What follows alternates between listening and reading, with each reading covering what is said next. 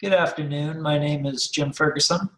I'm a charter member of the Rotary E Club of Canada 1, and I'd like to welcome you to this week's meeting um, on the website. I hope that you enjoy our weekly meeting and it brings some information, Rotary information, uh, to you and perhaps your clubs.